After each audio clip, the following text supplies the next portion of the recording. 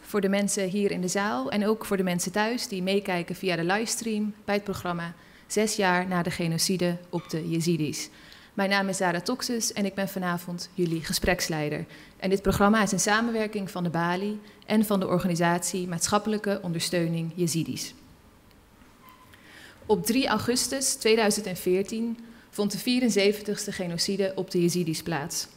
Op die dag, zes jaar geleden, trok Islamitische Staat de regio Sinjar binnen in Irak. En ontvoerde er ruim 7000 mensen, vooral vrouwen en kinderen. En doodde er zo'n 5000, vooral mannen. Vandaag herdenken we deze gebeurtenis. We luisteren naar persoonlijke verhalen en we bespreken ook de huidige situatie van de Yazidis.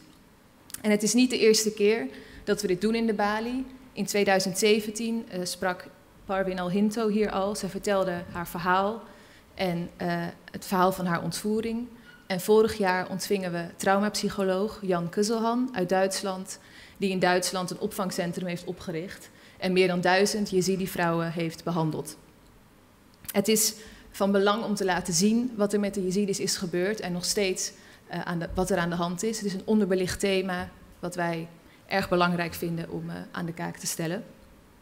En we merken ook dat de publieke opinie heel erg gemakkelijk tegen islamitische staat is, maar hulp voor Jezidis komt uh, moeilijk op gang. Daar zullen we het vanavond ook zeker over hebben.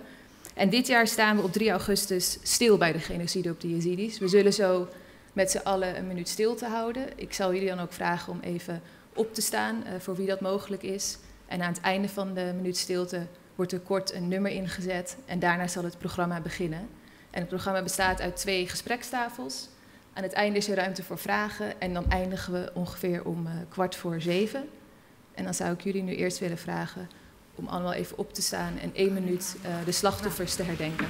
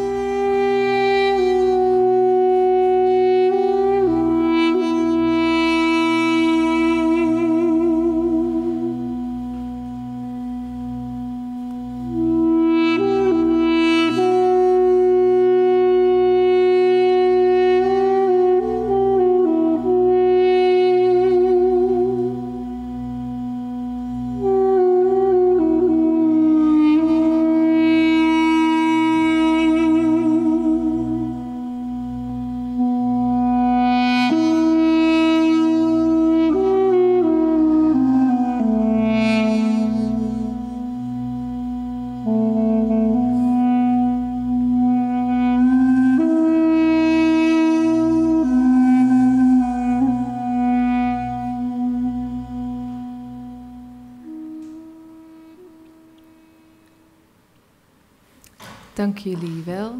We hoorden net heel kort een uh, nummer uh, met een Armeens blaasinstrument, de duduk. Dat wilde ik even uh, bijvertellen.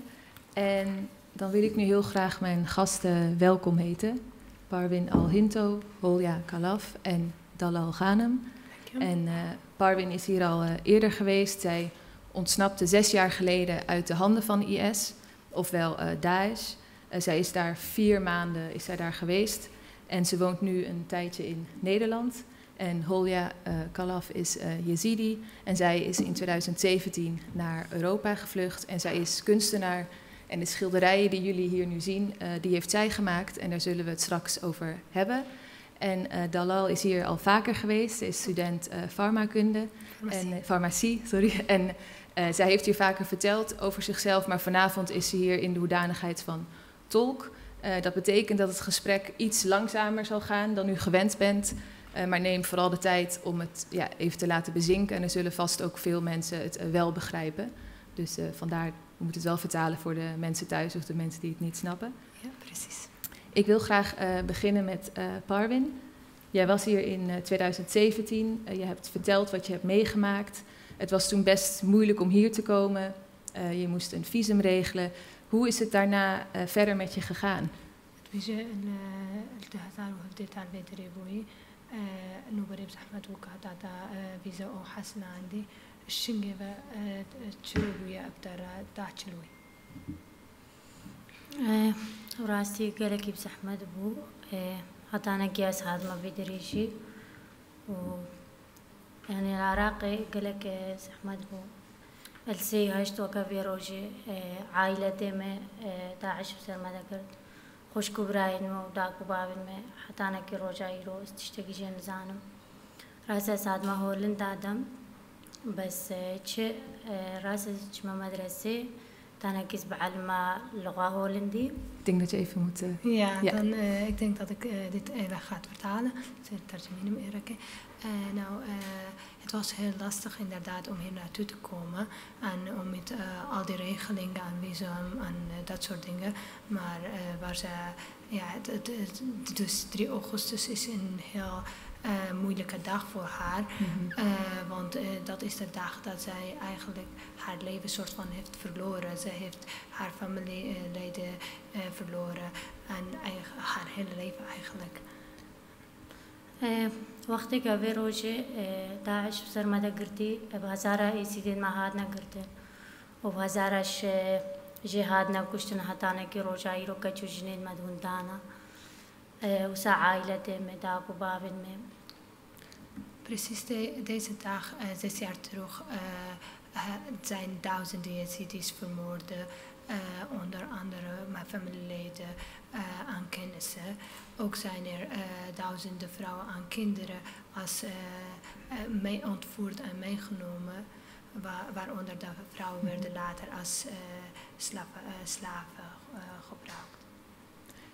وقتی که عائلتی مش مقد بوی از عائلتی خو فکر هاد نگرتن شمالا بابی من و و مامن مکر مامن من ام چی و چهار نفر بس شمال بادا ما هاد نگرتن هتانا کی روجای رو از نزانم چی به هاد ja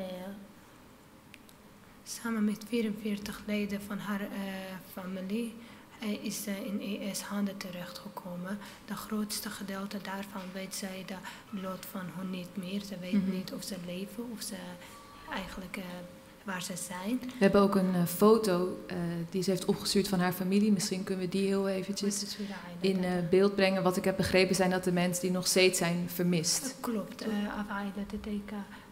هجر بردست تشتكي شي نزاني. يعني عائلتي مهموية بابي منه وتاكا مو براي منه و مامن مكر مامن هتانك روجاي رو اسنزانم كتشب عائلتي مهمو كي هات dat zijn uh, inderdaad haar familieleden, haar vader, broer en zussen uh, en ook oom en neven. Mm -hmm. uh, tot de dag van vandaag weet ze niet mm -hmm. wat is er met hun gebeurd en hoe is het verder ja. met hun gegaan. Want ze zijn, nadat ze in ES handen genomen zijn, zijn ze uit elkaar verspreid. En, en zij was hier in 2017, toen heeft ze hier in de Bali eigenlijk voor het eerst haar verhaal verteld over haar ontvoering, de verschrikkingen die ze heeft gezien, wat haar familie heeft meegemaakt. Um, dat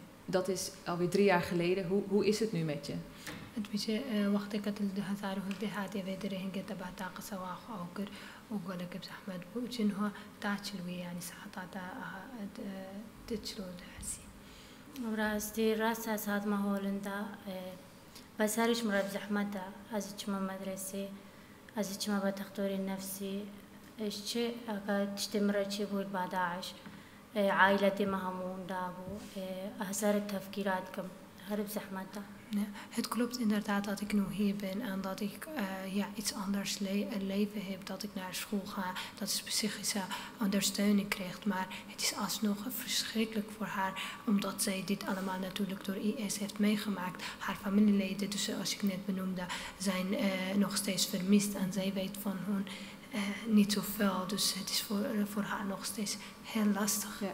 En zijn er, ik weet nog de vorige keer dat je hier was, vertelde je ook uh, over je zusje en nog wat andere familieleden. Zijn er ook misschien mensen die eerst vermist waren en nu wel terecht zijn? البيجي تقعدي وقتك تال بدري تبعتا أخوش كأخوكر وهناك رجع إلى تادي البيجي الشنجي هناك شي فقريعينا وهناك شي وكاري هناك فقريم ببينه اے بھلے پشتی کا ساتھی مبترے خوش کام ابرائے کہ مہاتن، ہر دودھ کچھ کو بھون۔ اے ہنستے یعنی گلے کی بزحمت بو اختِ خوش کام ابرائے مہاتی۔ خوش کا میں زمانۂ خواہ خوردیش پیٹ کر بو ابرائے میں زمانے خواہ خوردیش پیٹ کر بو۔ یعنی نزانی کردی پی بند Ja, uh, zij vertelt over haar broertje en zusje en broer en een zusje die inderdaad ter, uh, terug zijn gekomen. Of dat eigenlijk zij hebben het kunnen regelen om terug te brengen. Uh, het was heel lastig en heel moeilijk voor haar, want haar broer en, en zus konden geen Koerdisch meer praten. Ze, ze hebben gewoon Arabisch geleerd. dus door de islamitische staat, voor haar is dat natuurlijk iets vreselijk. ولی خوشکامه عمری ده سال بوون کە دەست داعشدا پشتی کە کەتی دەست داعشدا خوشکامێ دانایەکی پێنجی سالی کا بزە و جینن haar zus was uh, tien jaar toen, uh, toen ze door IS uh, ontvoerd werd. Um, ze, en, ze was tien jaar, maar ze werd aan, aan iemand van 50 jaar gegeven om haar oud te huwelijken. Om, mm -hmm. Omdat ja, ze is dus, uh, ja. ja. Ik ga heel eventjes naar Holja, kom ik zo weer uh, terug uh, bij jou. neem een slokje water. Holja, goed dat je er bent. je bent van ver gekomen vanuit Limburg, heb ik begrepen. Heel fijn dat je hier wil zijn. We hebben het over de, de genocide in 2014, toen de Islamitische Staat Sinjar binnenkwam. Jij was toen nog heel jong, je bent nu 17 geloof ik. Wat herinner jij je nog van die dag? بيجي متى ده هزار وشاردتكن بجي مفهم كريا كتشترك دور هاتي بدري وداك تكوك بوي وقت كت أحداث شي بوين تشبيرات تش أحداث سبحان كي سي هش دو هزار وشارده داكم دنگی مکر قرابن سوبن داش كدا شنگالدا يا يا تراك يا. يا راكب حلو قد عشك ديش قال دا قوم أخرينا. قوم زوبن ميتن خلاص كم زان شارب امرابون امتشونا ضربي لمتشونا جي إيه، خلاص تو كيف إيه، برتعالى أنا إذا بخين باي 3 اغسطس werd ze door haar moeder wakker gemaakt en ze vertelde haar van dat ES is binnen. En wij moeten dus uh, vluchten naar de berg. En uh, toen zijn ze dus de auto gaan pakken aan de richting van de berg. Zonder ja, enige geweten wat en hoe. Mm -hmm. En het was allemaal onbekend voor haar. Kam, kam. ጠረጴላ ችንችዬ ጠረጴላ መኒቤር ኸራቡ መጅቡር ምን ባያ መሽን ችሌሃ ቢኒቡ ገለጊገንቡ تليها بيني وكالكي كان بو ام ماشين ام تشونجية كالك عالي ازيد ودري مبهزارا بون ايش دهنا مري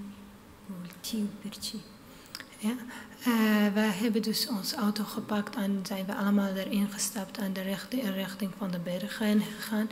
Maar helaas uh, was de auto dus uh, kapot gegaan, stuk gegaan onderweg, waardoor dat zij de rest van de weg moesten lopen. Onderweg zagen ze ja, vreselijke beelden. Ze zagen allemaal mensen die honger het, uh, of dorst hadden in die echt heel hete zomer. Uh, daar was, uh, dus daar waren allemaal Yazidis en die allemaal richting de berg op gingen. زانين كاني وقا يكش مهمش كان زاني كايد ماي هركي وقا يعني ريو خلاص تكير ومە نزانی چاوات بێ دووراوەکە گەلێک حالت ئێستی دەچێ بوو بەس گەلێکی بسەعمەد بڕاستی Ja, het was een heel moeilijke dag, want eh, toen we op de berg aankwamen, waren overal Yazidische mensen, overal zag je eh, ja, wat zij eigenlijk eh, mee hadden gemaakt of onderweg. We wisten niks ons, over kennissen, over familieleden, want wij hebben alleen maar ja, zichzelf, iedereen heeft zichzelf op een of andere manier, diegene die kon redden, heeft gered aan de, de berg opgevlucht. Maar het was ja, heel moeilijk voor haar. إت سی هج دو هزار و چارده یکش مهما في روشش بيرناكي Het is vandaag dat, dat niemand van ons zou überhaupt ooit kunnen vergeten. Het is zo'n moeilijke dag voor ons allemaal. بشتي كي تشون مقومي آه، وضع تحكي خوشبو مقومي تشن فقرهن معلت خو تشون إيه، مدهني دايتي. داعش معلمة فجران بو. اید مگوتن کو وچه امان جویر وقتی نبو اید مگوتن وکا ام نکارن بربین امیچن وکا هر Nadat de situatie een beetje rustig werd, zijn mijn uh, ma, ma familieleden teruggegaan naar ons huis. Maar alles was verwoest. Er was niks meer. En toen beseften wij dat dit is geen plek voor ons meer. Wij kunnen hier niet meer blijven. En toen zijn wij gaan uh, ja, uit, het land gaan. Ja, en met geloof ik een lange weg voordat ze hier kwam. Daar zullen we het zo eventjes over hebben. Ook eh, ja, over de schilderijen die eigenlijk eh, haar tocht ook laten zien. Ik wil weer eventjes naar eh Parwin gaan. Eh, we hebben, jij was hier inderdaad in 2017. Als je nou kijkt naar de eh, situatie van de Yazidis, wat, wat is er nou sinds 2017 veranderd? Is er iets veranderd, vind je? Het بشه هكاش ده هزار وفدي ده هتانها تشود بيني وضع غيري بطريقة كش ازديارة يا يعني اتكحاتين أو بشي طريقة وضع اش ازديارة غيري تشود بيني راستی هتانکی روجایرو حقي ما يونداي ما يستيا كجوجنين ما التسدا عجتنا تشتكج مرنا هاتيكرين يعني عائلتي ما هم واجهو قالك بسحمد بو.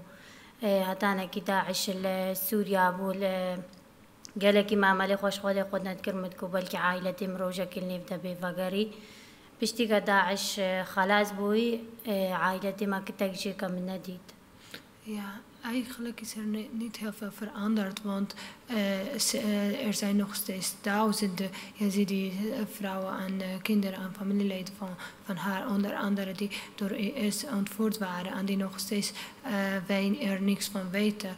Ehm, het, is, ehm, ja, het is voor haar, dus uh, uit haar mening ehm, is er niet, niet zoveel aan gedaan. Het gaat nog steeds door. Ah, het, ga- het, de genocide is nog steeds door. Ze had nog steeds tot de dag dat IS in Syrië was een hoop dat ze haar familieleden terug zou eh, zien als, als IS in elkaar verslagen waren. Maar dat was wel gedaan en nog steeds weten ze niks over hun familieleden. En ehm, over haarzelf, je vertelde hier toen ook eh, over, we hadden het hier toen over behandeltrajecten die in Duitsland waren om trauma's te behandelen.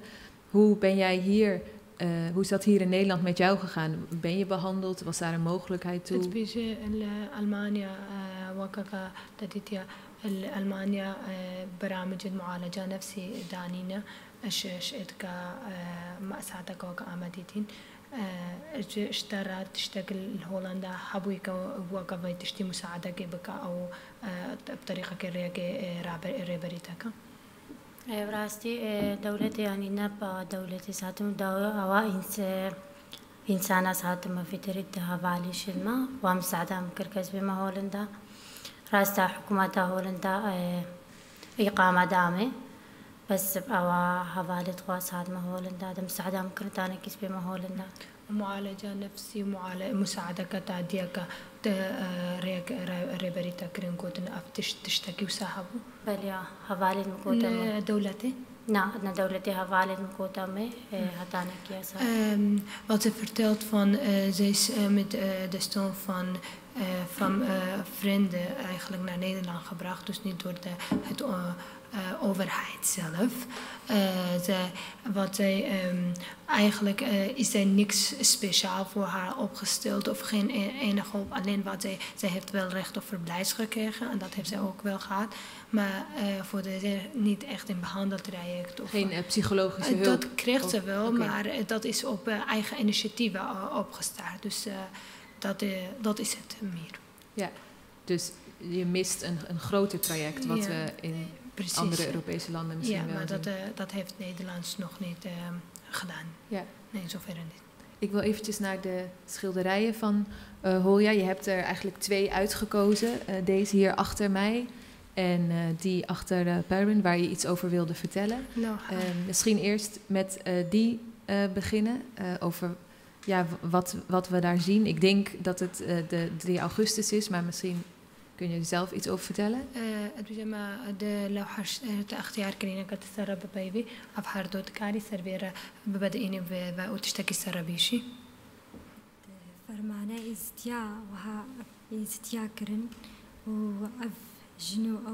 برن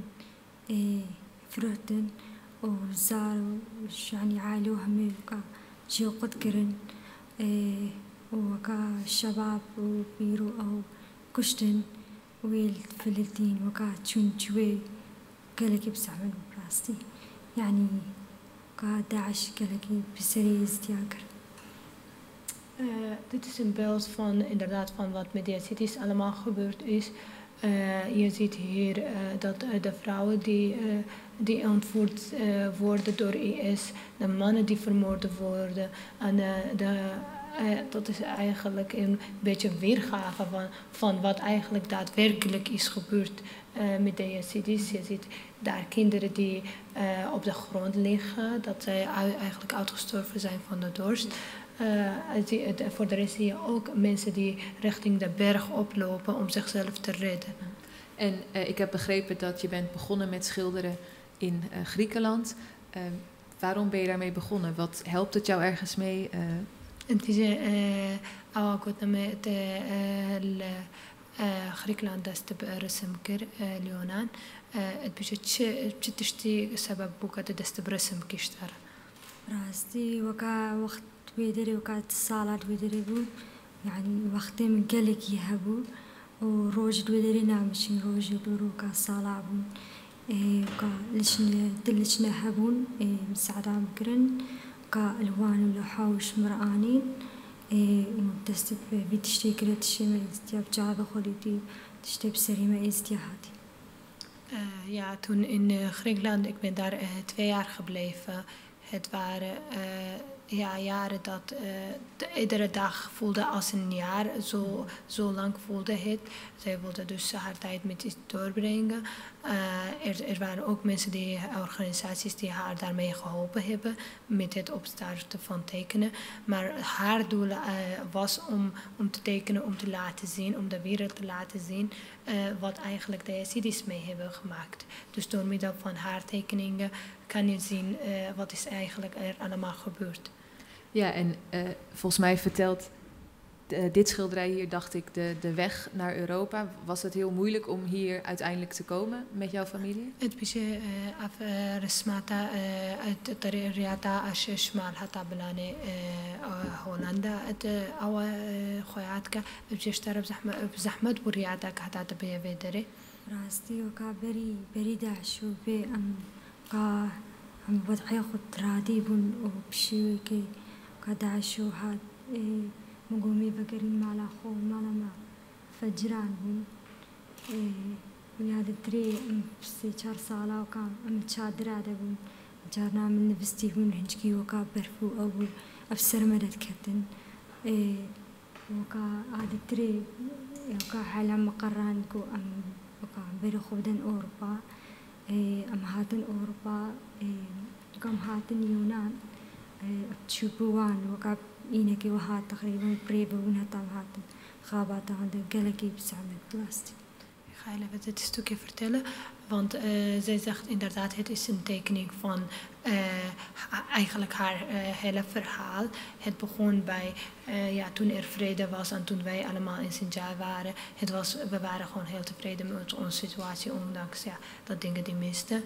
En daarna, dus toen IS kwam en ons huis was verwoest, eh, dus daar zie je ook het, op de tekening van ja, dat, dat zij niks, geen plek meer hadden om terug te gaan. En eh, zij hadden een beetje hoop dat het alsnog later wel zouden teruggaan. Maar dat is ook niet gebeurd. En op de andere plaatje zie je ook de tekening van de vluchtelingententen waar zij in woonden. Ze vertelt ook op sommige dagen als het regende of eh, sneeuwde dat die tenten op hen eh, vielen. En dat het heel moeilijk was voor haar. eh, die, die periode. En daarna eh, gaat ze dus eh, vertellen over eh, haar tocht naar eh, Griekenland. Het begon ook, eh, het duurde in totaal ook ongeveer zeven dagen. Zij moesten ook via het water, en wat ook heel lastig en moeilijk was. Eh, Griekenland, daar is, eh, وكا مكو مت أم نشونا رهاتون أم هاربون إيش في ليلة مكو وكا لشنو أو هبن مستعدامة بكن in hana yunan ma chilichne ma kam saada eh, ja. Toen eh, zij in eh, Griekenland aankwamen, ze waren gewoon niet van plan om in Griekenland natuurlijk te verblijven. Of, uh, zij dachten dat zij verder naar Europa zouden komen. Maar ja, helaas uh, kon dat niet. Er waren ook geen organisaties toen die hun hiermee konden helpen. En vandaar moesten zij dus daar blijven. وكا تشبواندا بس أم وكا مجبور أم مجبور مان أم بمين الإجبر تشلش نتشنبو أم دسالة مان ونم بتنيبون بحزارة يزدي جلور حينا ونازدي قلق خالكي دويدري ولاجو أو وتحيور قلق Ja, we hadden dus geen andere keuze. We moesten in Griekenland blij- eh, blijven. Het was heel eh, moeilijk daar. Eh, de- daar wonen duizenden Yazidis, maar ook andere vluchtelingen eh, in de eh, vluchtelingenkampen in eh, Griekenland. Maar ze hadden geen andere keuze om op een of andere manier naar Europa te komen. زتير وير قلق لاج الناس دي بتني وكا حتى أفرو تشقيش مشكارا وكا نهاتا كرن وهمشكا وكا ادفين بين فربس مجبور وكا بمين جاري حتى تشيبي هنا كا زانم بين سال ندوي دري ووات حيور قلق Ja, dus eh, de Yazidis daar eh, zijn er heel veel, duizenden. En die allemaal gewoon naar Europa graag wilden komen. Maar eh, zij worden op geen enkele manier geholpen. Zij worden ook beschouwd als alle andere vluchtelingen die in, daar zijn. Ze kent mensen die al vijf jaar in, in Griekenland zijn en die ze geen weg konden vinden naar Europa. Maar ze kunnen ook niet, natuurlijk niet terug naar Sinjar waar alles verwoest is. En voor velen nog steeds een heel gevaarlijk plek is. En het is haar gelukkig uiteindelijk wel gelukt. Inderdaad. eh, ja. vorig jaar, als ik goed begreep. Om, Dat klopt. توجد سالة كتشويت هادية في سالة كتا الهولندا عير في سالة كسالفدري ما وكا يعني مجوزي تشم هولندا بي كحادة كخوش بلشيني بس مع الأسف ديسس كتم كمبادة يعني هف سالنا هف سالن شا سالن كتا هفتيدة من فيدري ما وكا هر ديسس كتم كمبادة يا دوس ik ben gelukkig. Ehm, hierheen gekomen. En eh, dat was ook eh, een hoop, gaf mij hoop om verder betere leven. Dat eh, hoopte ik ook. Maar helaas, wat ik eh, hier sinds een jaar heb gezien, is dat ik weer in, in eh, vluchteling of in, in AZC eh, ben beland. En dat de leven eigenlijk niet veel anders is dan de afgelopen zes, zeven jaar voor haar. En dat ze telkens op, opnieuw in een andere kamp moet, moet leven. En, en dat het telkens hetzelfde is voor haar. Ze wacht nog steeds op een, eh, een huis- of verblijfsvergunning en dan een plek om te wonen. Klopt. Ze wacht nog steeds op, een, op haar ver- verblijfsvergunning. Dus, eh, dus ja. Ja. dat is het uh, Hizul Hivya Iqame. Ik wil even naar uh, Parwin nog even, omdat we zo dit gesprek uh, moeten afsluiten. En we zullen zo Tuurlijk. aan de volgende tafel zeker uh, verder praten over hoe Nederland, wat Nederland eigenlijk doet uh, voor de Jezidische gemeenschap. Um, Uh, jij hebt hier eerder gesproken, je spreekt met veel media. Wat zou je nou nu op dit moment hier aan de mensen in de zaal of aan het publiek thuis uh, nog willen meegeven? Wat, is, wat is, vind je nog belangrijk wat er nog niet is gezegd?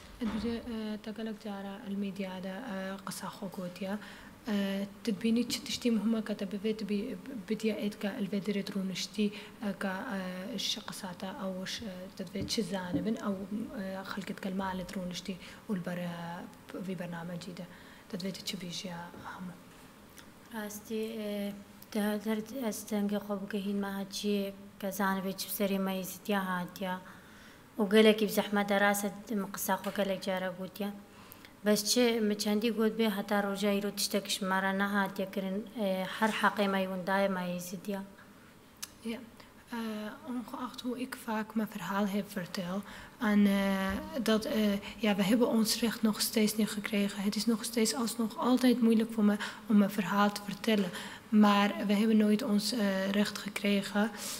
Wat um, dat Tjibisja uh, We hebben nooit, dus de mensen die daar nog zijn, of gerechtigheid oh, voor de hele gemeenschap. Gerechtigheid voor de hele gemeenschap eigenlijk.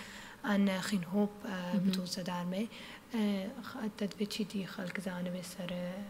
بقصير سري تشتغى هاتي سري ما زانبن وهاتي سري خلق ما يزيدي زانبن نبتني بسري ما هاتي سري هزار كتي كجكي يزيدي وكم هاتي وبيسترجي مدوی قصا خو بیجم دا همو زانبن. چاوا زحمت بو و چاوا عائلتی مش مقود بو و دا کو بابن ما مدوی همو زانبن که چاوا بو Wat ik hiermee wil uh, uh, geven is uh, daar eigenlijk een beeld maken van dit is eigenlijk mijn verhaal, maar niet alleen mijn verhaal, maar het verhaal van duizenden andere mensen. Ik wil hiermee dus jullie laten zien wat de Yazidis meegemaakt hebben. Ik wil dat hier naar geluisterd en gehoord worden wat wij ja, meegemaakt hebben. En dat het niet alleen haar verhaal is, maar van duizenden andere mensen ook. Ja, heel erg bedankt. En ik denk ook dat dit sowieso, dit blijft, wordt niet de laatste avond dat we het hier uh, over zullen hebben.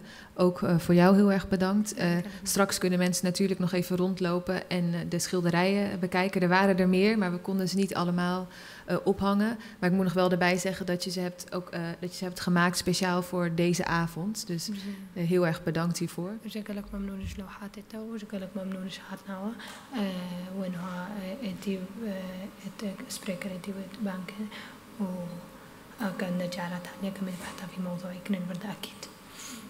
Ik wil jullie heel erg bedanken. Jullie mogen uh, daar plaatsnemen. En dan nodig ik uh, Brenda en Amjad uit om hier uh, te komen. Graag een applaus voor de sprekers.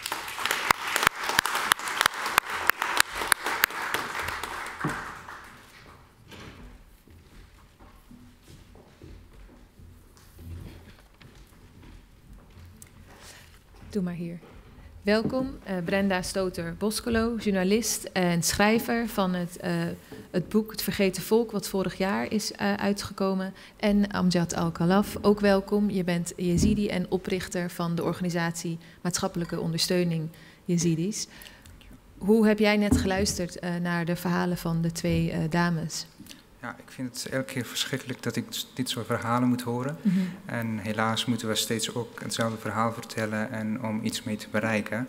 Uh, het raakt ons enorm uh, als Yazidi zijn er om uh, een meisje te zien dat zelf in de handen van IS is geweest en verkracht. Mm -hmm. en, en alle verschillende dingen wat je kunt bedenken dat IS heeft meegedaan, met die meisjes gedaan.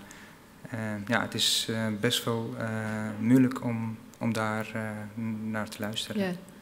En Brenda, ik vroeg aan uh, Perrin van wat is er nou veranderd sinds 2017? Ja, daar kwam niet, was nou niet echt uh, heel veel veranderd. Hoe, hoe kijk jij daarnaar? Nee, er is niet veel veranderd. Ik denk zelfs dat het slechter is geworden. Het komt met name ook door de coronacrisis. Uh, ja, er wonen nog iets van 300.000 Yazidis in de, in de ontheemde kamp in het mhm. noorden van Irak. Nou ja, terug naar Sinjar kunnen ze niet. Er beginnen de laatste tijd wel iets meer mensen terug te keren naar Sinjar. Maar waar keren ze naar terug? Um, het is gevaarlijk daar zo, liggen overal mijnen. Nou, de huizen zijn allemaal vernieuwd. Uh, het is een soort van, ja, er is, heel, er is, heel, veel spanning in dat gebied. Af en toe wordt het gebombardeerd door Turkije. Mm. Uh, het ligt in betwistgebied, dus de Irakese regering zegt ja, het hoort bij ons. De Koerdische regering zegt hetzelfde. Er zitten allerlei milities, uh, ja, door Iran, Iran aangestuurde milities. Nou ja, vertakkingen van de PKK, noem maar op. Je noemt gelijk heel veel. Je, ja. Het veiligheidsprobleem was nog twee weken geleden het nieuws dat de Turkse leger uh, onder andere Sinjar bombardeerde. En ook uh, de crisis. Ik las dat Amnesty zei dat er meer dan uh, eh, 2000 kinderen echt hulp nodig hebben, geestelijk hulp nodig hebben. Dus dat is ja. traumahulp. En ook nog het gebied waar ze wonen zit in tentenkampen. terwijl ze eigenlijk gewoon in, in huizen zouden moeten wonen. Heel even om daarmee te beginnen, die, die vluchtelingenkampen. Ja. Um, hoe ja, hoe, hoe is daar de situatie en waarom kunnen ze daar niet weg? Nou, kijk, het zit namelijk zo, toen uh, die Yazidis in 2014 eh, werden aangevallen, zijn ze eigenlijk allemaal of naar de bergen gevlucht of naar de Koerdische mhm. regio. En vervolgens zijn in de Koerdische regio heel veel tentenkampen opgezet. Ik vind trouwens wel dat het Amnesty-rapport een paar jaar te laat is, maar dat terzijde. Mhm. En um, ja, daar wonen ze op dit moment nog steeds, omdat Sinjar is geen veilig gebied. Het wordt ze ook bemoeilijkt door de Koerdische regering om terug te keren. Uh, er is weinig wederopbouw, dus ja, waar keer je naar terug? Uh, mensen voelen zich ook onveilig. Nou, dat komt onder andere door die politieke spanningen, maar het heeft mhm. ook wel te maken met uh, ja, hoe zij al jarenlang gezien worden in de regio en wat ze al die jaren hebben meegemaakt. Mm Dit is de 74ste genocide. En het was wel een beetje, ja, hoe noem je zoiets? De, de, de, de finale klap, um, nou ja, het zwaarste wat ze ooit mhm. hebben meegemaakt. En daardoor vinden, hebben heel veel Yazidis ook zoiets van: kan ik nog wel in Sinjar leven na alles wat er is gebeurd? Um, bijvoorbeeld in het dorp Korchul, daar zijn alle mannen vermoord. Ja, Nadia Mourati komt daar vandaan en ze sprak ooit eens een keer in, de documentaire, in een documentaire uit dat ze daar graag naar terug zou willen keren, mhm. naar, naar. En toen zei uh, een van haar vrienden ook van ja, maar waar keert ze naar terug? Dat zal dan mhm. een dorp worden met alleen maar weduwen, met, ja, waar overal massagraven liggen in de buurt. Dat, dat willen mensen niet. Ja. Uh, dus ja, er zijn heel veel verschillende redenen waarom ze nog steeds in de tentenkampen wonen. En Amjad, jij bent geloof ik in 2011 uh, naar Nederland gevlucht ja, gekomen. Ja. ja. Hoe kijk jij nu naar die situatie daar? het is veel erger geworden. Ik ben gelukkig mhm. voor IS uh, kwam, ben ik naar Nederland gekomen. En uh, mijn, de, de, rest van mijn familie die zit nog daar. Alleen ik woon hier met mijn ouders en uh, broertjes. En waar zit jouw familie? Mijn familie zit in vlakbij Dolk. En het dorpje mm Ganke wordt dat genoemd. We hebben ook een kaartje. Misschien kunnen we heel veel de kaart laten zien. Dan zien we ook even de namen die jij zegt. Ja, ja, de situatie is uh, verschrikkelijk. Uh, alle mensen die in Sinjar hebben gewoond na 3 augustus 2014, zijn ze allemaal in de kampen terechtgekomen mm -hmm. of ze zijn slachtoffer geworden van IS. Ze liggen in de massagraven. En vorig jaar zomer ben ik zelf geweest, nadat ik in Nederland, na acht jaar, ik wilde familie bezoeken, maar ook even zien wat is er overgebleven na 3 augustus. Uh, ik ben ook naar Sinjar geweest. Uh, Sinjar is, is, dat kun je verdelen in twee gebieden. Mm -hmm. uh, het zuiden van het berg en het noorden van de berg. Ik kom uit het noorden van het berg, een dorp daar vandaan. Ik ben alleen daarheen geweest vanwege de veiligheid. En als je ziet, het is, alles is verwoest. alle huizen zijn in brand gestoken. Het dorp waar ik vandaan kom, voordat ik kwam, woonden 14, ongeveer 14.000 inwoners. En nu wonen alleen maar ongeveer 500 mensen. En dat was best wel zwaar om alles zo terug te zien. Uh, en vooral het gebied is helemaal verwoest. En de veiligheid, uh, Brenda gaf het ook aan. Uh, er is geen bestuur in, in Sinjar. Sommigen willen niet eens terug. Dat willen ze ook niet. ze hebben geen vertrouwen in, zowel in politiek, maar ook in mensen die daar wonen. Het is natuurlijk op 3 augustus, toen IS kwam, de omgeving van Sinjar, daar wonen ook Arabieren. Mm -hmm. En die hebben ook met die IS meegeholpen. En uh, dus Yazidis vragen zich af hoe gaan we weer terugkeren naar Sinjar en met die mensen, mm -hmm. weer met die mensen omgaan. en wat bedoel je met de Arabieren hebben meegeholpen, de, de, het volk, het Arabische volk wat daar woonde? Ja, ja dat, uh, dat uh, met name. En uh, Sinjar, in Sinjar wonen niet alleen maar Yazidis, maar mm -hmm. daar wonen ook mensen, dus bijvoorbeeld moslim. Mm -hmm. en op 3 augustus, dat, alleen maar Yazidi zijn gevlucht. En ze zijn slachtoffer gebleven. En de rest, die, die waren daar. En uiteindelijk, vanaf de eerste dag, ik zeg niet allemaal, maar de meeste mensen hebben meegeholpen toen IS kwam. En die dorpen om ons heen. Ja. Dus dat is ook iets heel lastig voor de Yazidis. Ja, hoe gaan we terugkeren? En aangezien uh, de veiligheid uh, het, het, niet verbeterd is. Uh, dus zoals ik zei, ik ben vorig jaar geweest en ik zag heel veel milities. Dus het is niet echt een, een... Wat voor volksmilities of wat voor milities? ja, Kun je iets over vertellen? JPK, dus mhm. mensen uit Syrië. Mm en ook eh, van die Yazidi-milities die zijn er. Uh, en ook milities die door Iran worden gesteund, uh, zoals Brenda ook aangaf. Die allemaal dat gebied willen beschermen? Ja, ik, ik kwam, uh, als je Shingal of Sinjar binnenkomt, mm. ze hebben die van die checkposten van die milities. Dus elke paar kilometer, om de twee, drie kilometer, kom je andere milities tegen. Ja. en onderling zijn ze ook niet met elkaar mm-hmm. eens. Dus die gaan ook niet helemaal soepel met elkaar. Uh, dus het, het, de gewone bevolking, die, ja, die willen, ja, sommigen willen, heel veel willen terugkeren, maar ze kunnen niet terugkeren. En inmiddels, uh, dit jaar zijn er meerdere mensen teruggekeerd, uh, maar dat wordt ook tegengehouden door, door bijvoorbeeld de overheid in, in Koerdistan. Mhm. ja, dus ze kunnen nog steeds niet terug. En, en los daarvan ook, de voorzieningen zijn ook heel slecht. Dus geen water, geen elektriciteit. Eh, en ziekenhuizen of, eh, of de artsen, die, die zijn er niet. Dus het tekort is. En uh, Brenda, als we kijken even op overheidsniveau, bestuursniveau, als we kijken naar Bagdad en de Koerdische regio, lijkt het wel alsof de Yazidis een speelbal zijn tussen die twee gebieden. Kun je daar iets over vertellen hoe dat zit met die twee besturen? Ja, dat is van, van eigenlijk van oudsher al zo. Hè? Want onder Saddam Hussein werden ze gewoon als Arabieren gezien. En, uh, ja, en daarvoor weer bijvoorbeeld um, ja, onder de Ottomanen, ik noem maar wat, mhm. werden ze eigenlijk weer onder de Koerden geschaard. En daardoor ja, werden ze dus ook uitgemoord in die tijd. Um, na Saddam Hussein, na de val van Saddam Hussein, is op een gegeven moment heeft de, de Koerdische regio dat gebied uh, overgenomen. Dus zij kregen eigenlijk de verantwoordelijkheid voor de veiligheid daar zo. En toen werden ze dus als Koerden gezien. Maar Yazidis hebben zoiets van, tenminste dat is mijn ervaring, want uh, niet iedere Yazidi denkt daar hetzelfde over. Mhm. Maar wij zijn Ezedi noemen zichzelf, dus mhm. eigenlijk het oudste volk uh, ja, op aarde. En zij geloven dus dat later de Koerden zijn ontstaan, omdat dat juist mensen zijn die gedwongen werden zich tot de islam te bekeren, bijvoorbeeld. Mhm. Dus ze zien zichzelf erg als een compleet etnisch, uh, religieuze, afzonderlijke groep. En uh, de Koerdische regering die vindt dat niet zo heel fijn. Uh, ze proberen altijd de genocide te claimen bijvoorbeeld. Uh, Wat bedoel je met claimen alsof het... Nou ja, dan zeggen ze dat het een genocide ook op hun volk was. Terwijl het echt specifiek gericht was mhm. tegen de Yazidis. Mm dat is de reden dat IS uh, daar naartoe is gegaan. Omdat mm Yazidis, die kwamen niet in de, in de Koran voor. En ze werden gezien als duivelsaanbidders. en daarom hebben ze specifiek Sinjar aangevallen. Mhm. Met het doel dus om de gemeenschap uit te roeien. En ze hadden eigenlijk, dat hadden ze allemaal gepland van tevoren. Wat ze met de mannen zouden doen, wat ze met de vrouwen en de kinderen zouden doen. Uh, dat valt, is allemaal te lezen in de magazines van IS overigens. Dus ja, uh, dus dat, dat is een beetje het, ja, in, in het kort de geschiedenis over hoe ze dus altijd tussen verschillende partijen uh, ja, naar, naar zich toe worden getrokken, zou ik maar zeggen.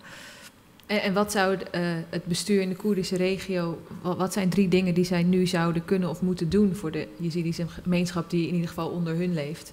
Ik denk dat dat niet alleen een verantwoordelijkheid is voor de Koerdische regering, mm -hmm. maar ook voor de Irak Iraakse regering. Want ze moeten er gewoon voor zorgen dat dat gebied weer uh, ja, opgebouwd wordt, allereerst. Ze moeten gewoon de prioriteit van de Yazidis voorop stellen. En niet, niet ja, kijk, alles is politiek, hè. Mhm. In, maar je kan ook niet regio. opbouwen als het Turkse leger vervolgens uh, bommen op die Nee, en daar ligt ook weer een verantwoordelijkheid voor al die milities. Want die moeten gewoon, en dat hebben Yazidis al zo vaak gevraagd, van uh, ga weg. Wij willen ons eigen bestuur. Ze zouden daar ook in gesteund kunnen worden, mm bijvoorbeeld door... Uh, ja, door het Westen of zo, door de internationale gemeenschap.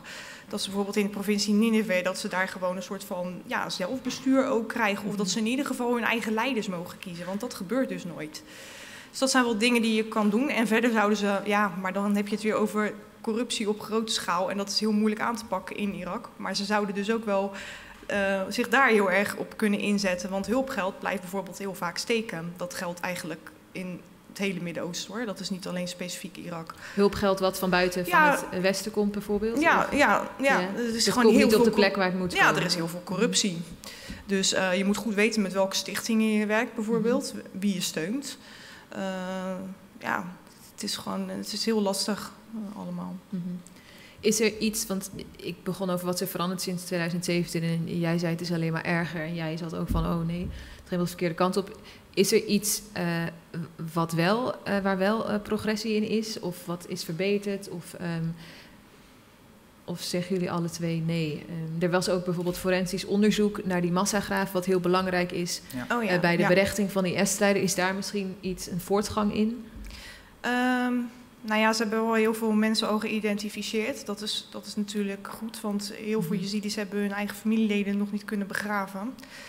Uh, dus ja, en we, ik hoop eigenlijk dat daar ook weer een soort van nieuw bewijsmateriaal uitkomt. Dat er een tribunaal kan worden opgericht op een gegeven moment toch wel tegen IS-strijders. Want dat is ook een van de grote problemen. Dat mensen die, die komen ermee weg. Hij had het net al over de buren. Uh, ja, er zijn bijvoorbeeld bepaalde stammen, want Irak kent de stammencultuur. En in Sinjar woonden, als ik het goed heb, ongeveer zes, zeven Arabische stammen. Mm -hmm. En de meerderheid had zich wel bij IS dus aangesloten. Dus wat gebeurde er? Want Yazidis en de Arabieren in sommige dorpen, die leefden echt al heel lang vredig samen. Op opeens gingen hun eigen buren zich tegen ze keren. Dus uh, ja, en die mensen moeten natuurlijk ook gewoon uh, berecht worden. Maar hoe ga je ze vinden? En ja... Ja, ik wil iets daarop aanvullen. Uh, die massagraven hadden we net over. Er zijn er meer dan 80 massagraven alleen maar in de stad Sinjar in de omgeving ontdekt. dus we verwachten dat er meer massagraven zijn, maar ook in Mosul en andere gebieden waar in de handen van IS was. ik heb een ambtenaar gesproken afgelopen weekend. Ik zei, hoe zit het met de massagraven en met het onderzoeken daarvan? Hij zei, tot zover ik het weet, ik was laatst bij een vergadering... Uh, dat zijn er alleen maar 64 mensen van alle massagraven DNA afgenomen. En die, die ligt ook nog in Bagdad. En vanwege corona is het nog uh, vertraging opgelopen. En wie doet dat onderzoek? Dat, dat wordt vanuit de VN gedaan, dus okay. Verenigde Naties. Ja. En, en heel Irak is maar één team bezig met, het, met die massagraven. En dat gaat heel langzaam. En die Yazidis vinden heel belangrijk dat die zo snel mogelijk worden mm -hmm. onderzocht. En dat bewijsmateriaal in de loop van de jaren die gaat ook verdwijnen. En we weten dat de temperaturen daar 45 graden zijn. Uh, het, het, regent in de winter heel veel. Uh, en wat er ook nog is, dus als het een hele mooie lente is, komt heel veel groen. en in de maand van mei en in juni, dan staat die in brand of, of uh, mensen hebben in brand gestoken. Mm -hmm. Dus die massagraven die liggen ook in die omgeving. En die ja. die zijn heel erg bang dat er straks uh, alle bewijsstukken weg gevaagd, ja. we, weg, uh, weggaat. en, en als je kijkt op zo'n grote schaal, 64 mensen is natuurlijk niks. Dus dan heb je meer dan 100 jaar nodig om alle 80 massagraven en straks misschien meer om, uh, om alles te onderzoeken. Dus uh, je ziet wel uh, dat er meer gebeurt wat dat betreft. dat die IS'ers en, en hun aanhangers niet zomaar mee wegkomen. straks als ze voor de rechter staan, dat ze niet alleen worden vervolgd omdat ze strijders waren van IS. Uh, maar uh, ze moeten ook berecht worden wat ze met de Yazidis hebben gedaan. Mm -hmm. en, en dat, vinden ze, uh, dat vinden wij allemaal natuurlijk belangrijk. Dat Want dat gebeurt op dit moment niet. Ze worden alleen maar berecht omdat ze lid waren van de IS en niet per se omdat ze mee hebben gedaan aan de genocide op de Yazidis. Ja, omdat de bewijs, we weten, hoe, ik, ik ben geen rechter, maar ook mm -hmm. geen advocaat, ik weet niet hoe het allemaal in elkaar zit. Uh, wat ik merk, uh, ja, ze willen van alles een bewijs hebben mm -hmm. om mensen te kunnen vervolgen. Ja. En, en behalve het bewijs, er zijn ook, ook heel veel ooggetuigen. Dus uh, mensen zoals Perwin. En er zijn ook nog honderden mensen die in die vluchtelingenkampen wonen, die -hmm. alles hebben gezien. En ook een paar mensen die een massagraaf hebben overleefd. Echt net geluk gehad. Ik vind hun verhalen uh, wel belangrijk om te horen en om, alles, om ook alles vast te leggen. -hmm. uh, als er straks uh, de berechting komt dat, dat alle bewijsmateriaal aanwezig is. Ja, ja. daar is nog heel veel nodig. Ja. En heel veel naar die vermissingen, want Barwin zei ook in het begin van over haar familieleden die nog vermist zijn. Om hoeveel mensen gaat het nog die nog in handen zijn van IS of in Irak of misschien wel in Syrië zitten of waarvan we niet weten uh, waar ze zijn? Heb je daar enig idee over? 2800 zijn het er ongeveer. En is daar nu iets, ik bedoel, is er een team daarmee bezig? Gaat dat door ook, dat vrijkoop of onderzoek naar waar dat mensen wel, zitten? Dat wel, maar het zijn allemaal individuele acties van familieleden, hulporganisaties. Mhm. Het is niet zo dat de regering daar actief naar zoekt, nee. Waarom niet? Ja, dat is de grote vraag, hè? Waarom doen ze dat niet? Ik weet het niet. Waarom Nee. de Irakese en de Koerdische regering dat niet doen. Is dat ze gevraagd of is er... Nou ja, Is het is gewoon zo van als op een gegeven moment een familie een idee heeft van. eh, want de, de Koerdische regering heeft al heel erg meegeholpen in die tijd, Mhm. een paar jaar geleden. Ehm, maar ja, zij legde toen ook een deel bij van dat geld. Want die smokkelkosten die kunnen echt oplopen tot weet ik veel hoeveel. eh duizend, tienduizenden Smokkelkosten euro's. om mensen vrij te krijgen? Ja, precies. En de Koerdische regering die heeft toen wel eh, voor veel mensen een deel betaald. Maar ja, op een gegeven moment kregen ze zoveel schulden. En eh, toen is dat allemaal een beetje stil komen te liggen. Dus, en families blijven gewoon naar die familieleden zoeken natuurlijk, logisch. Want ja, eh, je wilt ze gewoon terug. Maar het is gewoon heel lastig, want het kalifaat is nu, is nu eh, ja, weg natuurlijk. En die IS-strijders die dan niet in bijvoorbeeld het El Hol-kamp zitten... die zijn ondergedoken in bepaalde dorpen. Dus het is heel... Ja, sommige, je ziet die vrouwen, er wordt ook van gedacht dat ze naar Saudi-Arabië zijn vervoerd of naar Turkije. Eh, ja, hoe ga je erachter komen waar ze zijn? En dan heb je ook nog het probleem van de kinderen. Want sommige kinderen die waren ja, misschien nog geen één jaar of zo toen ze werden gekidnapt. En ehm, ja, van hun families werden gescheiden en bijvoorbeeld ondergebracht bij kinderloze families in Mosul. Ja, die kinderen hebben totaal geen herinneringen meer aan, aan vroeger. Ze weten niet dat ze Yazidi zijn. Dus eh, daarom pleit heel veel van die hulporganisaties voor Yazidis ook voor dat ehm, ja, bij kinderen in de kamp bijvoorbeeld dat er een DNA-test wordt gedaan als er twijfel bestaat of het misschien een Yazidi-kind is. Ehm, maar dat gebeurt alleen nog niet. En ehm, ja, er zijn zoveel. Ja, ik denk dat. Ik denk dat heel veel vrouwen ook nog wel vastgehouden worden door bijvoorbeeld eh, in Al-Hol-kamp zelf. Mhm.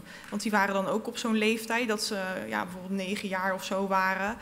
En ja, ze lijden aan het Stockholm-syndroom. Dus ze durven misschien ook niet te zeggen dat ze Yazidi zijn. Mhm. Of ze zijn van die familie gaan houden op de een of andere manier.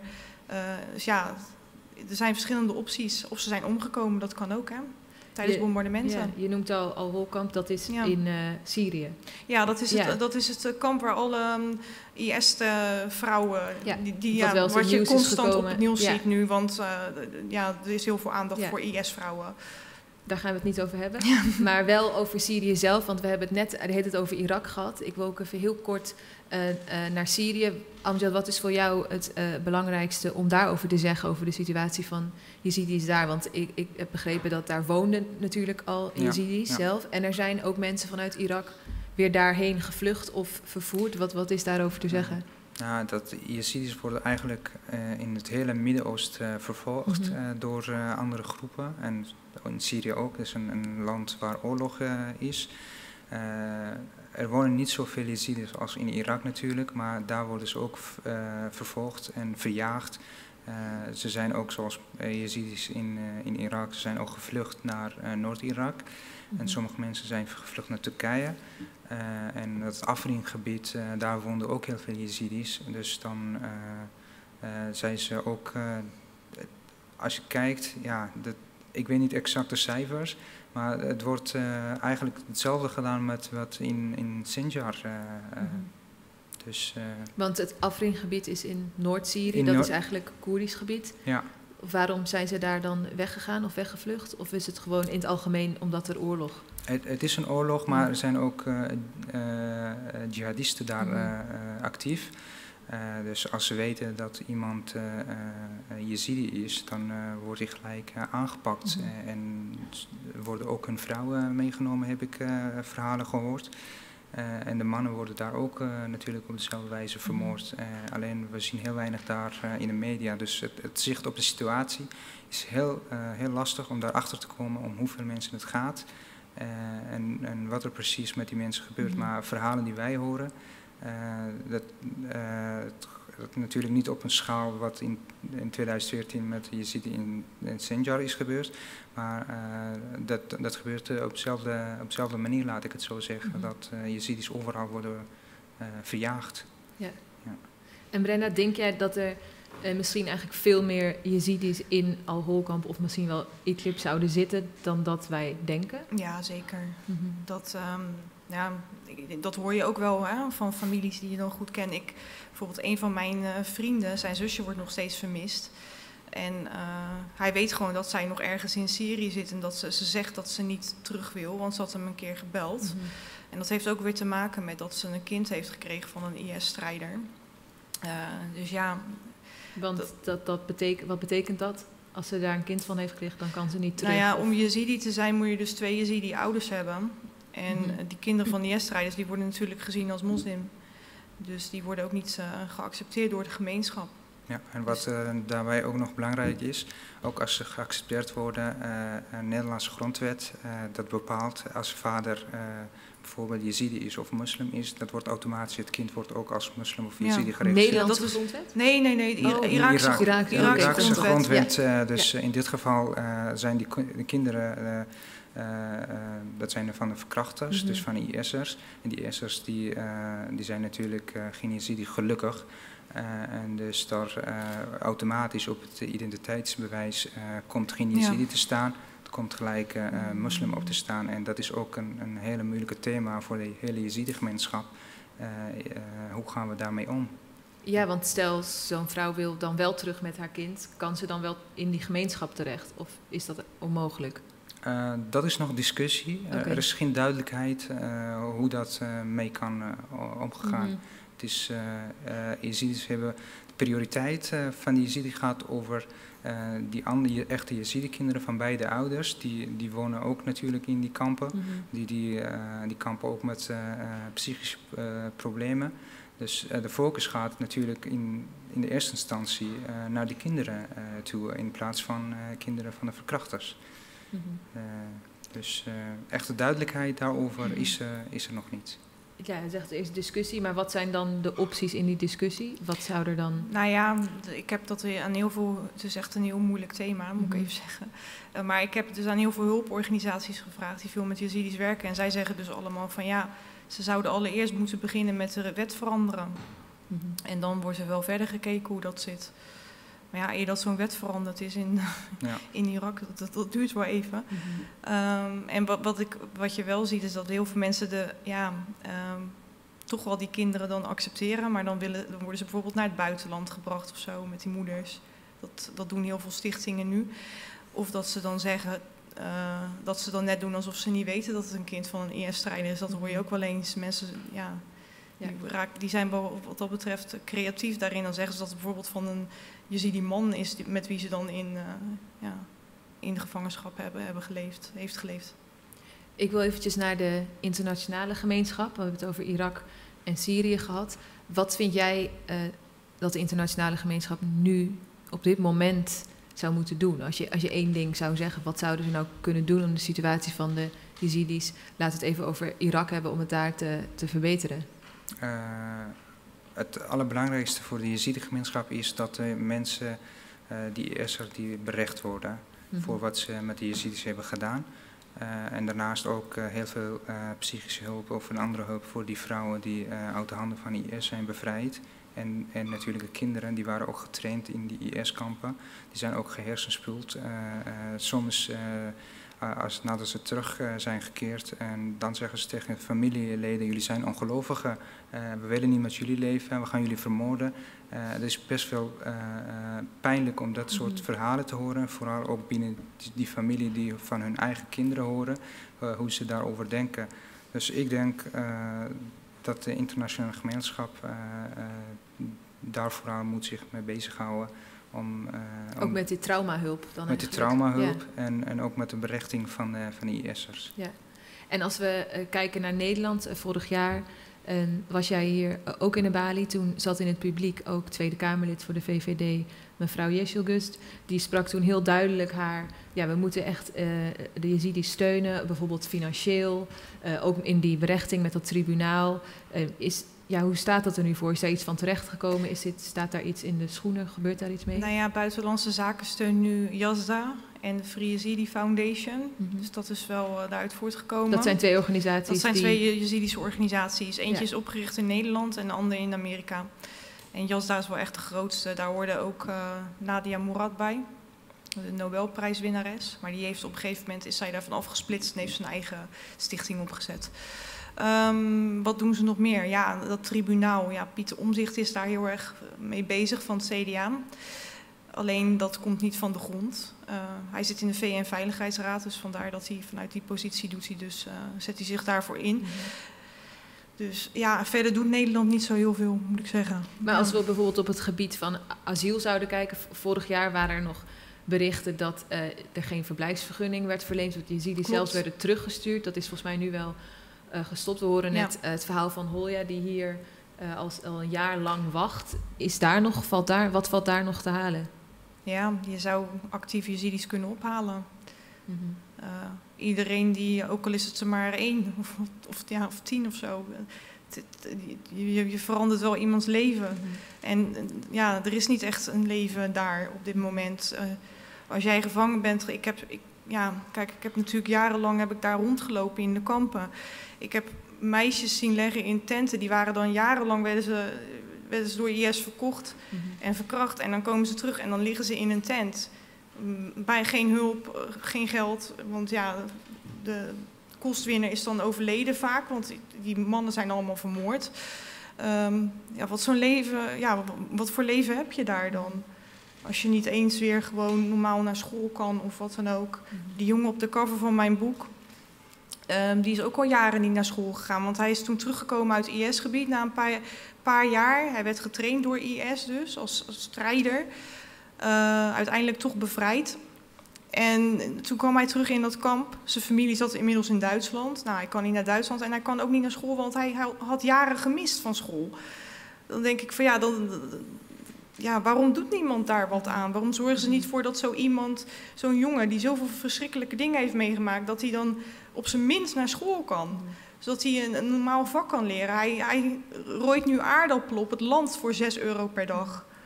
Dat zijn allemaal, ja, dat is niet het enige verhaal. Er zijn zo duizenden verhalen, zo, zoals ja, dat van hem. En je zegt, we zouden mensen vandaar hierheen moeten halen. Heb je dat wel eens gepeld bij politici, waarom dat... Ja, en dan zeggen ze allemaal dat ze ermee aan de slag gaan en uiteindelijk gebeurt er niks. Ik heb het zo vaak aangegeven. Ik heb ook met politie om de tafel gezeten van waarom doen we dat nou niet? Net zoals Duitsland, net zoals Frankrijk, als Canada.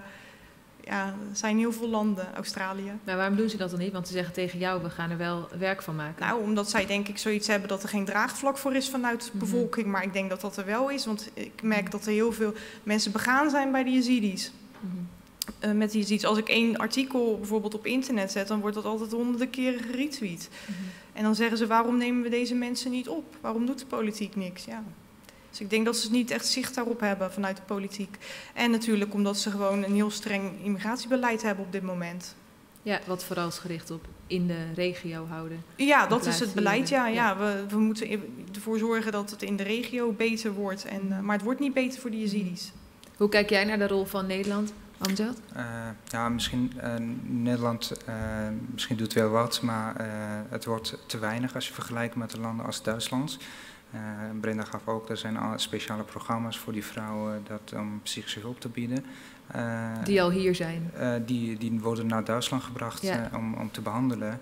En vrouwen en kinderen. En als het zoiets ook in Nederland komt, dat is natuurlijk helemaal mooi.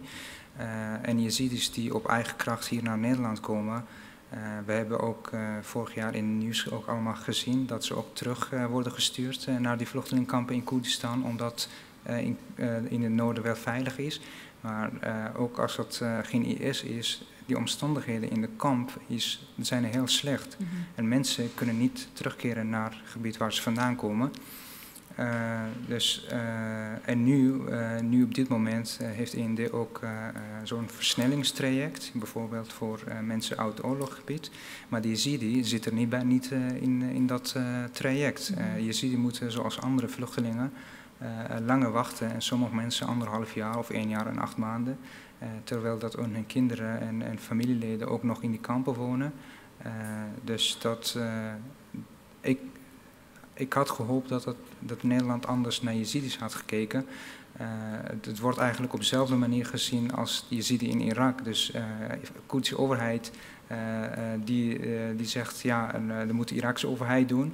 En de Iraakse overheid zegt nee, moet de Koerdische overheid doen. En in Nederland zeggen we ook ja, we moeten in, in het gebied gaan oplossen. Mm -hmm. ook als ze hier naartoe komen, ja, dat, ja, de, de, wetgeving dat, dat bepaalt. Mm -hmm.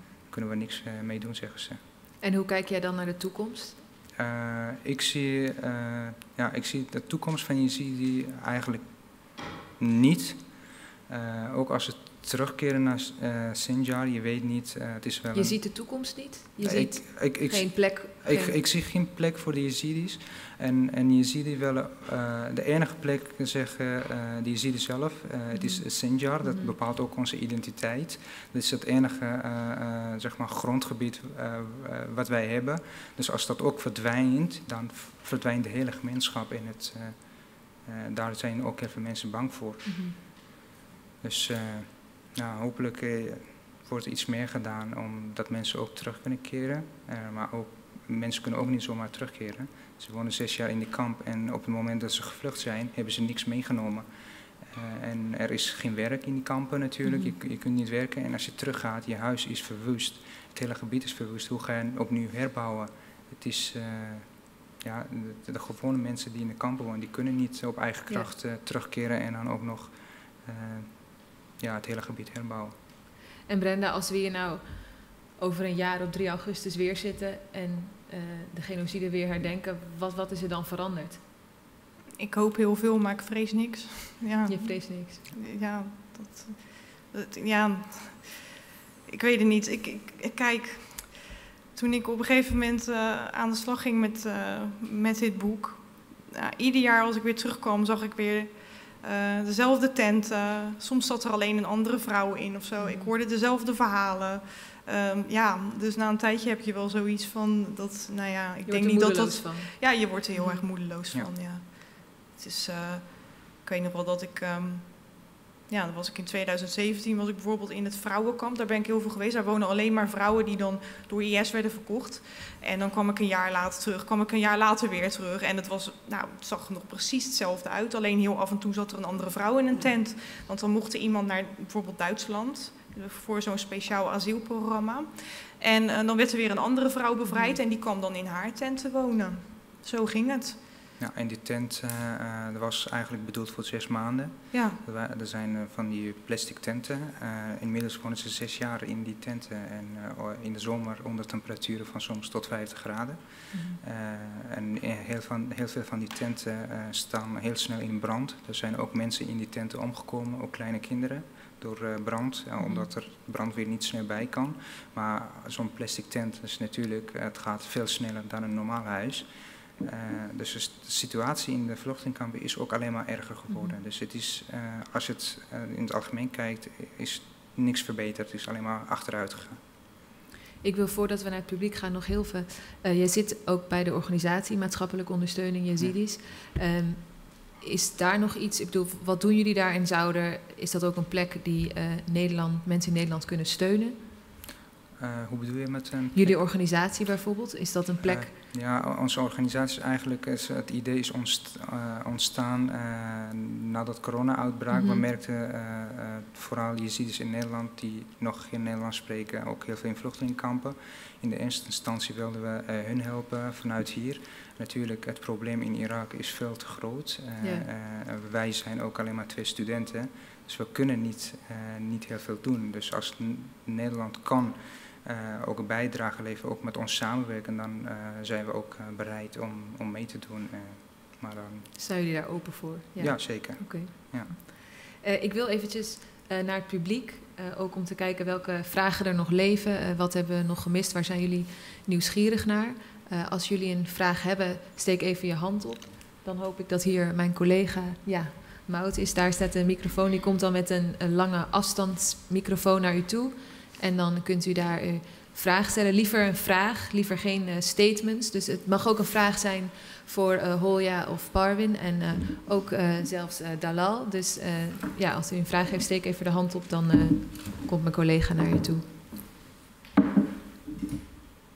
Meneer uh, achterin.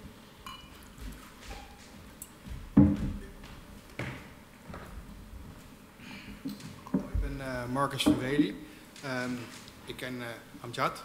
Um, mijn vraag is gericht op um, de, de, de, de, jonge Jezidi die ik hier aan tafel zie zitten. Die zijn hoog opgeleid, als ik het zo hoor. Wat is hun ambitie om die politiek te blijven benaderen? Je ziet in Nederland, als je een tractor hebt, dan weet je heel veel te bereiken.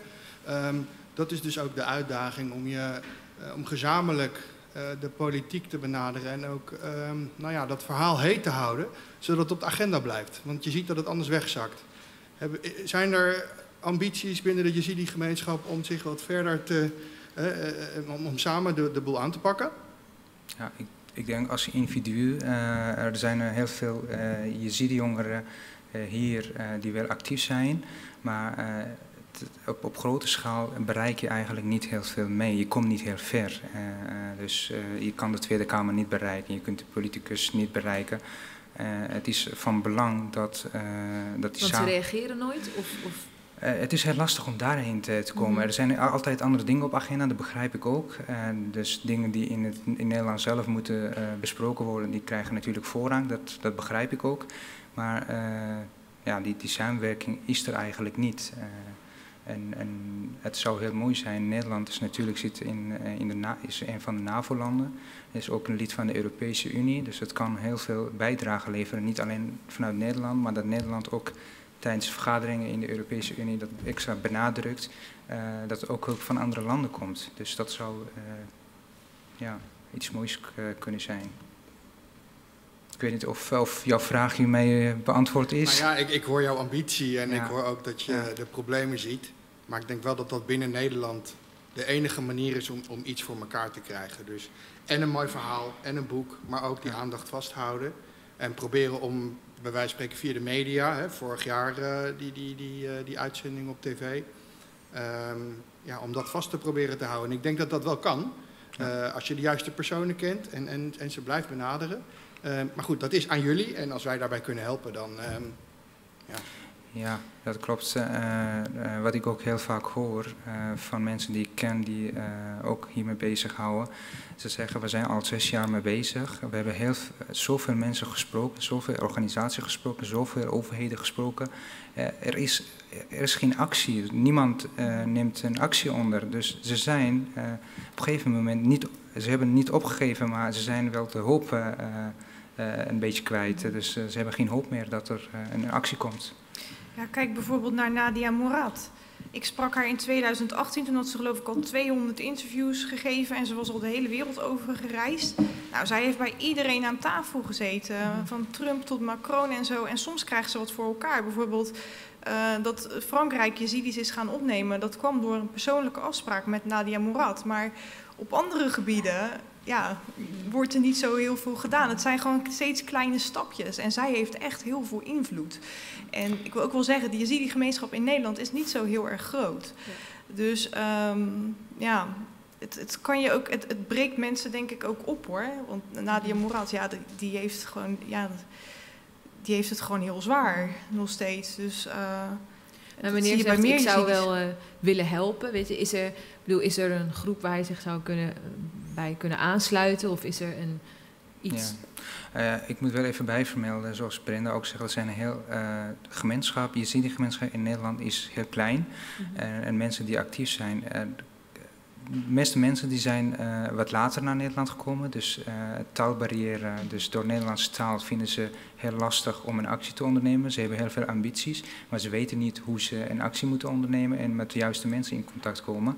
Dus als ik naar je Jezidische jongeren in Nederland kijk, misschien zijn er niet maximaal tien uh, tien uh, mensen uh, die, die echt actief zijn. Nee, niet eens. en, en als je het, ik bijvoorbeeld, als ik iemand benadruk, ja, ik, ik spreek niet namens een, namens een officiële instantie, dus dan wordt ook minder naar mij geluisterd, naar mijn verhaal, en kan ik minder daarmee bereiken. Ik zie aan de overkant nog een vraag en dan straks hier nog. Oh, en daarachter ook, ik zie u ook, ja.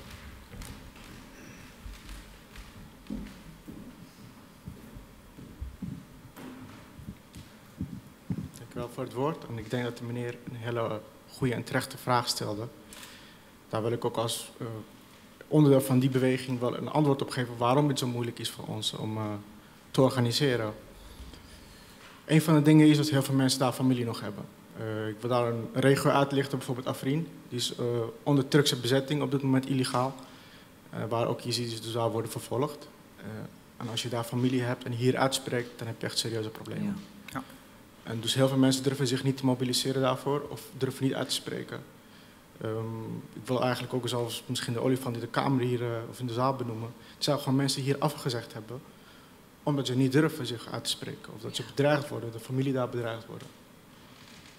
Dus ook al willen we dat, uh, en doen we, het, we doen het ook zoveel we kunnen.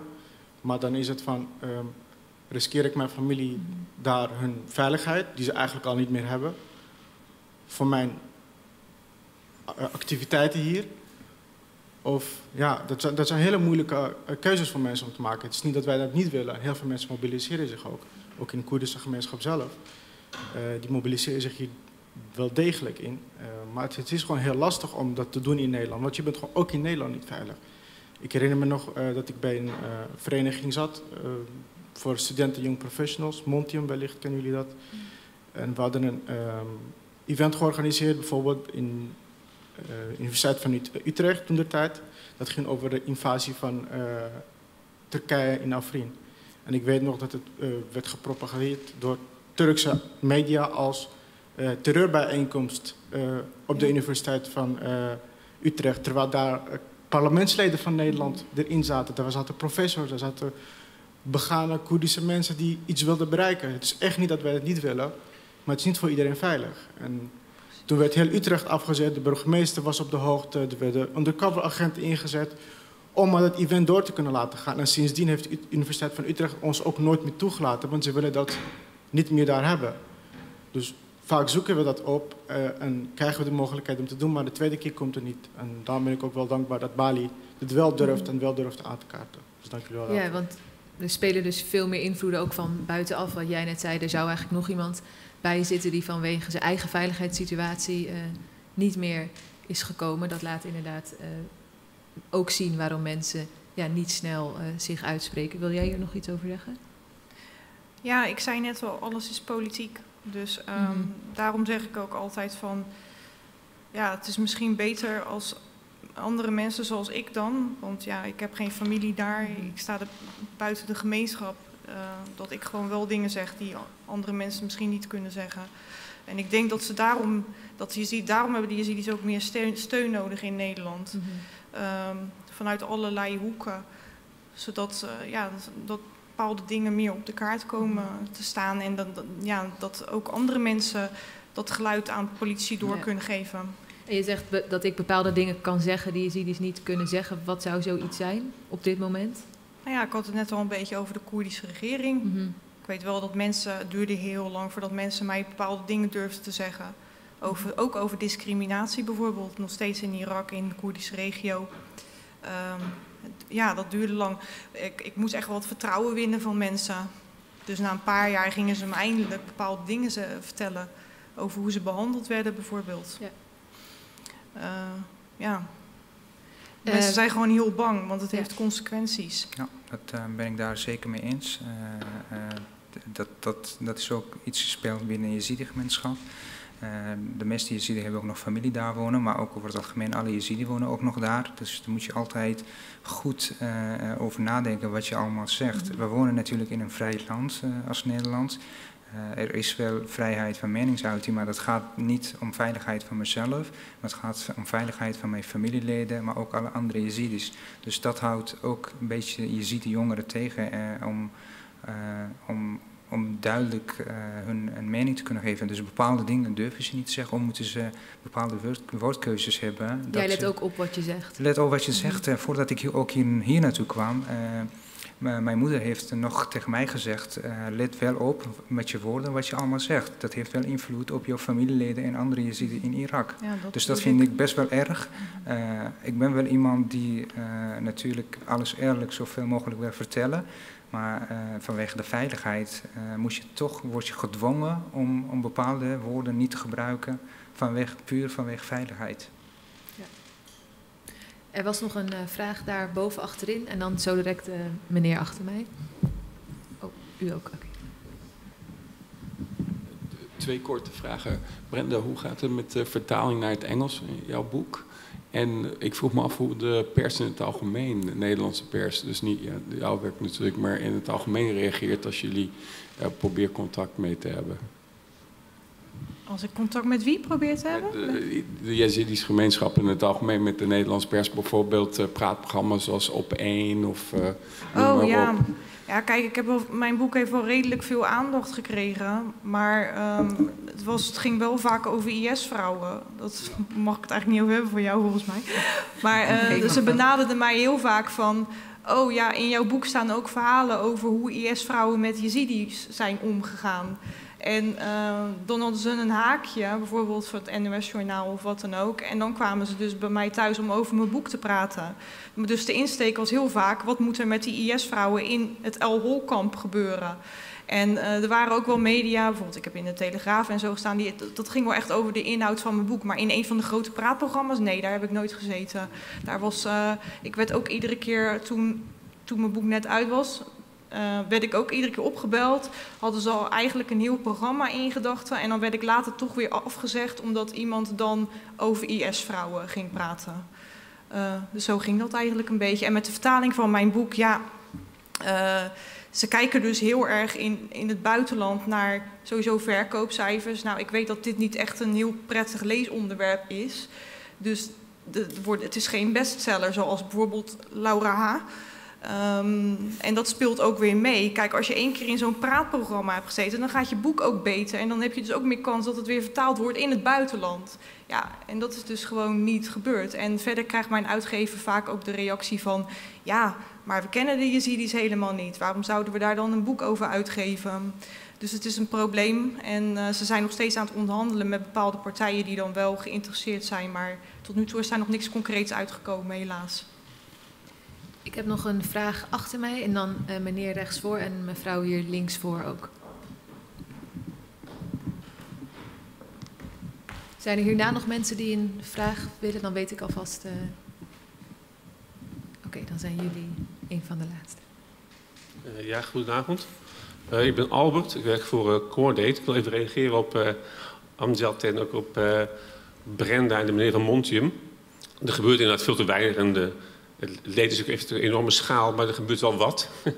in uh, Irak. Maar um, ik werk dus voor een hulporganisatie die Coordate heet. En we werken sinds, uh, hebben 2,5 jaar Yazidi-ontheemden geholpen in Dohoek, medische zorg, heel veel uh, psychosociale zorg. En in Bashika. En sinds twee jaar aan de langzaam terugkerende Yazidi in Sinjar. Maar goed, het ging er mij niet, niet om om mezelf te promoten. Het is meer een aanbod aan de mensen in de zaal die zeggen van er gebeurt niks. Wij willen heel graag het onderwerp op de agenda houden. Uh, in de politiek en bij uh, mensen met geld, zeg maar. Dus um, ik zoek eigenlijk heel graag bondgenoten vandaag. Dus als jullie, voordat jullie vertrekken, even met uh, ons twee komen praten. Wij willen het onderwerp graag hoog op de agenda houden. En dat de steun er ja, meer gaat komen. Ik vind het heel, heel belangrijk. Dus het is eigenlijk een soort aanbod van, van mij.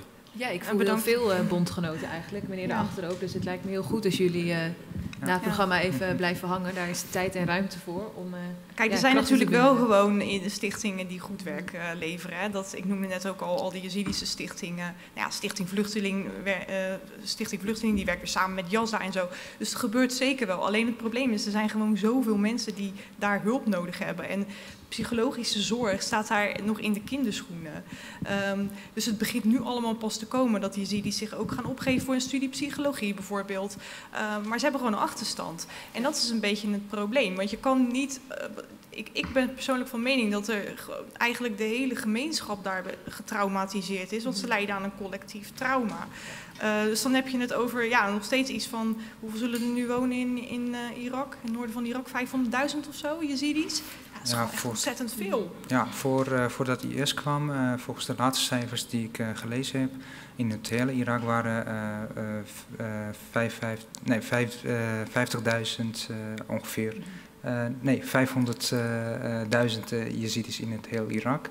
natuurlijk, nadat de IS kwam, zijn heel veel mensen gevlucht naar het buitenland.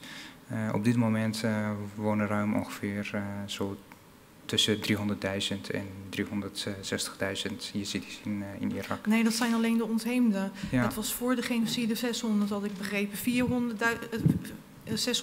400.000 in Sinjar, 200.000 in de Koerdische regio. Ja.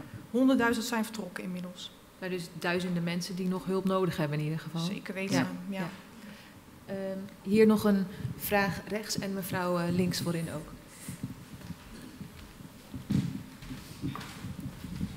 Mijn naam is Wier Duk, ik werk voor de Telegraaf. Um, de, die, die, over die geopolitieke situatie nog even. Waarom denken jullie, hebben de Jezidis internationaal geen bondgenoten? Als je bijvoorbeeld naar de Armeniërs kijkt, dat is een beetje een soort gelijke geschiedenis. Ja. Die hebben in Frankrijk en uh, Verenigde Staten een grote lobby... en die weten altijd hun positie wel op de agenda te krijgen. De Jezidis niet, waar, waar ligt dat nou aan?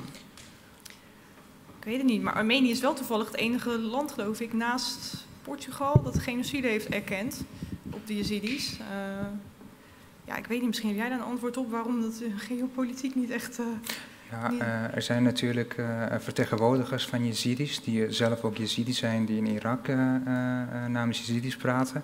Maar ze zijn niet onafhankelijk, dus ze zijn altijd uh, ja. afhankelijk van een partij, van een politieke partij. Dus ze mogen ook niet bepaalde dingen zeggen. Uh, en heel veel Yazidi in het Westen, die waren ook zo kwaad dat uh, de Yazidi-leiders vanuit Irak door de partijen in Irak naar het Westen worden gestuurd. En dan hier heel iets anders zeggen dan wat de Yazidi-gemeenschap eigenlijk wil. Dus ja. Dat is het hele probleem. Dus mensen die daar wonen, die, uh, en de leiders van Yazidi zijn, die kunnen ook niet alles zeggen. Ze zijn niet onafhankelijk. Dus dat, dat is het hele grote probleem dat die Yazidi niks bereiken. En mag ik nog één zijdelingsvraagje stellen over die kinderen die zijn verwekt dan door IS-strijders. Is er een autoriteit, geestelijke of religieuze autoriteit binnen de Yazidi-gemeenschap die zou kunnen zeggen we erkennen deze kinderen toch als Yazidi-kinderen? Of is dat onmogelijk? Ja, er is een religieuze council. Um, dus ja, die zouden eventueel de, ja, de Yazidi-wet kunnen veranderen. Uh, maar ik denk dat dat tijd nodig heeft. Want bijvoorbeeld, kijk, er is al heel veel veranderd binnen die Yazidische gemeenschap. Hè? Want ze hebben ook die, die vrouwen hebben ze weer geaccepteerd. Wat voorheen ook, ja, dat, dat hadden we nooit, uh, tenminste hadden Yazidis nooit gedacht dat dat zou gebeuren. Dus dat is inmiddels al veranderd. En daardoor zijn ook gewoon, ja, die vrouwen worden weer helemaal opgenomen in de samenleving. Kleeft ook niet echt een groot stigma aan of zo. Uh, Integendeel, ze worden heel erg gerespecteerd. Dus ik heb wel hoop dat misschien in de toekomst dat, dat, dat ze ook zoiets gaan, uh, gaan doen voor die kinderen dan. Als de Irak, Iraakse wet wordt veranderd misschien.